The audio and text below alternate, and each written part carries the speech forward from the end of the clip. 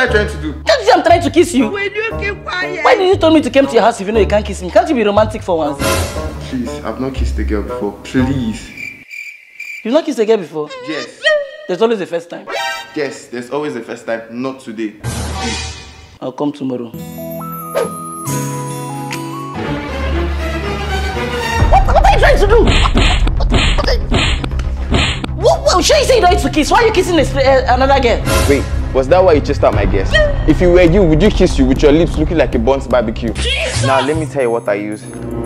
I use Biziaski Pink Lip Cream. This cream makes your lips naturally pink, soft, attractive, and very kissable. And the cream is also very, very advisable for smokers with burnt lips. So you can have it and go and help yourself. Even a madman can even kiss your lips.